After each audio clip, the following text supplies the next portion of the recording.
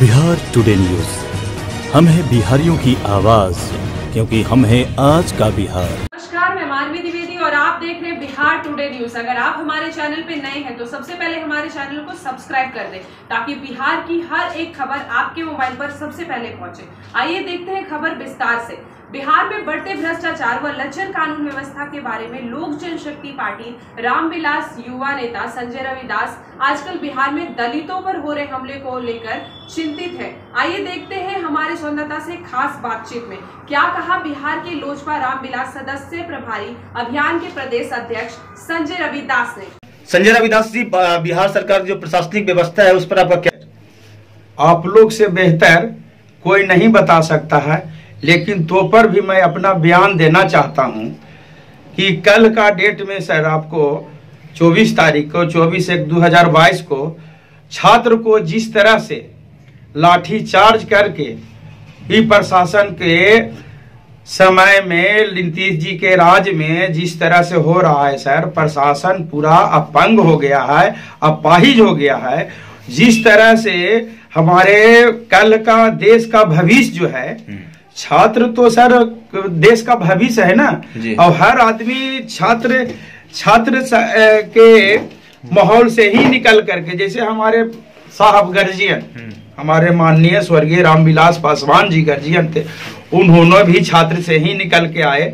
हमारे माननीय पूर्व मुख्यमंत्री, आपको हमारे जो लालू यादव जी जी हुए, वो वो भी छात्र से ही संघ से आए। उसको बाद आपको माननीय हमारे मुख्यमंत्री बिहार के जो आज के डेट में हैं, वो भी छात्र से ही निकल के आए। तो छात्र सर, भविष्य का छात्र सर, देश का भविष्य होता है। सर, आज के डेट में जिस तरह से आपको प्रशासन अपंग हो गया है सर मैं कहना चाहूँगा कि वैशाली जिला में मेरी बेटी मेरी बहन के साथ जो दुष्कर्म हुआ किरण कुमारी के साथ साहब वहाँ हमारे माननीय श्री राष्ट्रीय अध्यक्ष चिराग पासवान जी भी गए थे सर। वहाँ वहाँ बैठ करके एसपी डीएसपी से हमारे साहब चिराग साहब बात किए तो उन्होंने आश्वासन दिए कि हम सारा कुछ कर करके आपको सर, दो चार दिन का समय, आठ दिन का समय लिए थे एसपी साहब। उन्होंने समय लेकर के हमारे भैया को कुछ भी जवाब नहीं दिए।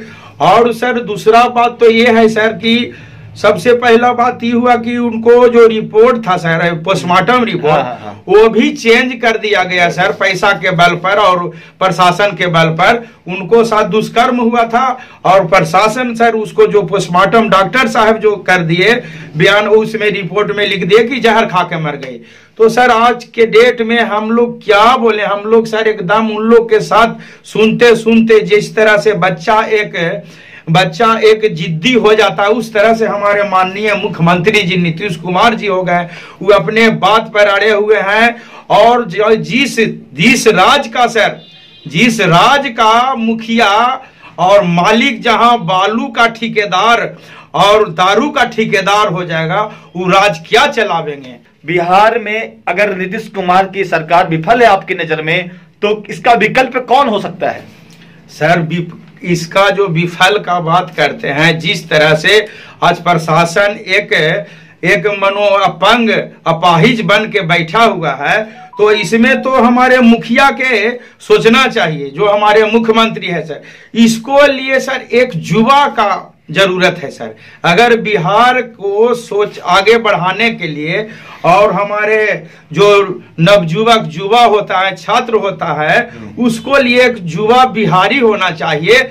जिस तरह से हमारे युवा बिहारी हमारे राष्ट्रीय अध्यक्ष चिराग साहब है सर हम तो लोग से प्रार्थना करेंगे और बिहार वासियों से आह्वान करते हैं कि हमारे माननीय चिराग पासवान जी को एक बार सर उनको समय मिलता तो बिहार का जो जिस तरह से दलदल में धसते जा रहा है सर, हमारे एक बार युवा जो हमारे चिराग पासवान जी हैं, उनको समय मिलना चाहिए साहब। आप भी एक जनप्रतिनिधि हैं और हर जगह लोग जाते होंगे। अभी प्रदेश के नेता है लोजपा रामविलास में।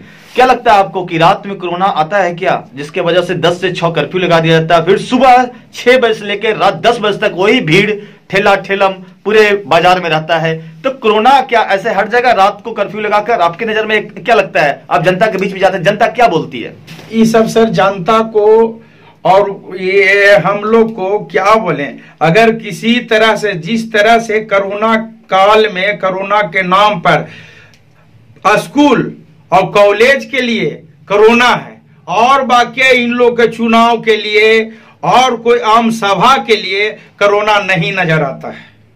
केवल हमारे युवाओं के लिए जो हमारे बेटा है, जो पढ़ाई, स्कूल के लिए कोरोना, कॉलेज के लिए कोरोना, युवा के लिए कोई अगर सभा अगर शुरू हुआ तो कोरोना में आ जाता है। और इन लोग के चुनाव का कोई बात मुद्दा रहता है सर तो इसमें इन लोग के कोई कोरोना नज़र नहीं आता। बाकरगंज में जो हुआ ये, ये आपको एक ए, जेब जेवरात का हाँ। दुकान में जिस तरह से हुआ है सर जिस तरह से प्रशासन वहाँ पंग बैठा हुआ है जनता वहाँ जो चोर चोर जो वो लूट किया था उसको जनता ने पकड़ के दे दिया। तो पर भी कुछ आज तक कुछ नहीं हुआ है सर इस पर। जो कि उनका एक मुद्दा पकड़ाल है, उसको कड़ाई से अगर पेश होगा सर तो अपना आदमी का नाम पता बताएगा। लेकिन ऐसा नहीं। वहाँ हमारे साहब, राष्ट्रीय अध्यक्ष चिराग साहब बैठ करके, एसपी साहब के जब फ़ोन लगाए तो बाहर निकल थे। फ़ोन नहीं उठा। आज तक हम लोग के उस फ़ोन का जवाब एसपी साहब का नहीं आया है कि हम कहा थे, नहीं थे। प्रशासन को जो बात कह रहे हैं एक एक बेटी का और हत्या हमारे दस दिन पहले ये जो औरंगाबाद जिला में हुआ है बंदे बंदिया एक जी- अथी थाना है सर। जी, थाना वहाँ है औरंगाबाद जिला में पड़ता है। सुबोध कुमार से मेरी बहन का जो मेरे गया जिला के एक बहन है उनको घर कोच थाना में दुसात बीघा में है सर। जी। और उसको शादी हुआ था सुबोध कुमार से। उसको दो बच्चा छोटे छोटे सर, एक पाँच साल का, एक तीन साल का बच्चा है, और उस महिला को, उस बेटी को, देश को, बेटी को, इस तरह से इन लोग, निर्दयी लोग हत्या किए हैं, सर। कि उसको एक डंटा नीचे लगाकर एक डंटा ऊपर लगाकर दो तरफ़ से ऐसा दबा वो कर कौन थे उनके परिवार के थे दूसरे दबंग लोग थे जी नहीं सर उनका जो पति हुआ हाँ। जिनसे शादी हुआ था हाँ। वो घर का पूरा परिवार मिल के उसको उस बेटी का हत्या कर दिया लोग समाज- हैं, एक मिनट सर, वो? पासवान समाज से। हमारे दलित समाज से आते हैं वो ये कोच थाना में उसका पिताजी का घर घर हुआ, सर। लोग कहते हैं, बेटी बचाओ, बेटी पढ़ाओ। ये रोज दुर्गति हो रहा है, सर, यहाँ। यहाँ रोज दुर्गति हो रहा है, लोग कहते हैं, बेटी बचाओ, बेटी पढ़ाओ। ये सब झूठा है, खाली दिखाना है, सर। ये कागज़ पर दिखाते हैं दिखाते हैं, और टीवी पर दिखाते हैं, बाकी ज़मीन पर कुछ नहीं है। आपके नज़र में शराबबंदी विफल है बिहार में आपके नज़र में बेटी पढ़ाओ बेटी बचाओ भी विफल है जो जो घटना होता रहा है। हम्म। और आप लगातार हमारे चैनल पर अपना वक्तव्य रखते आए हैं हम्म। चाहे वैशाली की घटना हो चाहे गुरारू की घटना हो जी, जी। चाहे हाल फ़िलहाल में जो परदेशिक में अपना गया जीजा के लड़का की हत्या कर दी गई चाहे वो गिर के मर गया था उस पर भी आपने बात रखा। जी जी हाँ। एक अंतिम सवाल आपसे है संजय जी अगर आपकी पार्टी को मौका मिलता है तो आपकी पार्टी किस तरह से काम करेगी इस बिहार के लिए सर हम लोग किताब पूरा जो हम लोग हमारे साहब राष्ट्रीय अध्यक्ष चिराग साहब जो ने बिहार फ़र्स्ट बिहारी फ़र्स्ट का हम्म। उन्होंने जो विजन बनाया है सर हम्म। जो हम लोग डॉक्यूमेंट लेके चल रहे हैं बिहार फ़र्स्ट बिहारी फ़र्स्ट का सर उसमें जो है ऐसे हर व्यक्ति व्यक्ति हर समाज घर घर व्यक्ति व्यक्ति मैं कहना चाहूँ तो सर कि सभी को लाभ है उसमें। जिस तरह हमारे साहब ने विजन बनाया बिहार बिहारी फ़र्स्ट का। एक सवाल है कि गया के आप रहने वाले हैं गया आपका गृह जिला है और गया नगर निगम का इस बार जो चुनाव होने वाला है मेयर और डिप्टी मेयर का सीधे तौर पर जनता चुनने वाली है। लेकिन अगर कैसा है ये जो इस ये, ये जो डायरेक्ट जनता चुनेगी कैसा लगेगा? पहले होता था कि वार्ड पार्षद के द्वारा डिप्टी मेयर और मेयर बनाया जाता था उनकी संख्या पर। अगर आपको जनता आप ही लोकल बडीज से हैं और महादलित समाज से आप भी आते हैं मेयर का पद अगर सुरक्षित रहता है तो क्या आप इस बार चुनावी मैदान में होंगे? अपने पार्टी की ओर से सवाल यह है। जी सर।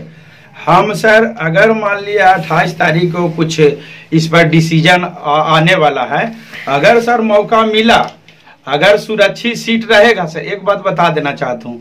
अगर सुरक्षित सीट मिलेगा सर दलित का जो जिस तरह से अगर आरक्षण उसमें है अगर सुरक्षित सीट मिलेगा सर तो उसमें जनता अगर चाह से हमको चाहेंगे और हमको अगर आशीर्वाद देंगे तो सर उसमें हम आ करके और पूरा गया जिला, और जितना बनता, आप लोग तो देखते हैं सर, जितना बनता है हमसे, एक साधारण काम करके, हम चाहते हैं कि हर व्यक्ति को हम लाभ दें, और अगर इसमें आशीर्वाद गया जिला से मिलता है सर, और जनता हमको अगर चाहेंगे तो सर आकर के हम सेवा करने का मौका लेंगे उनसे।